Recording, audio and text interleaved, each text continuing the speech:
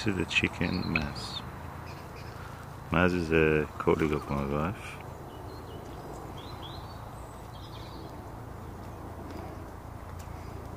She's very uh, agile, you know, posh, youngish,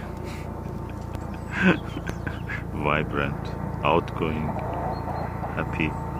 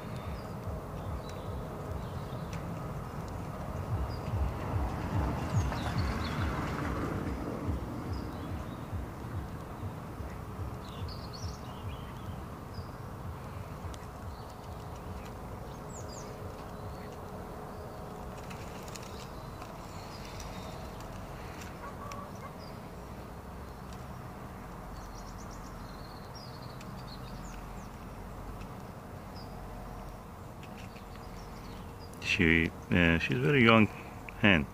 We we had it from egg. It was born in the March 21st this year, 2016. So she is now about six months old.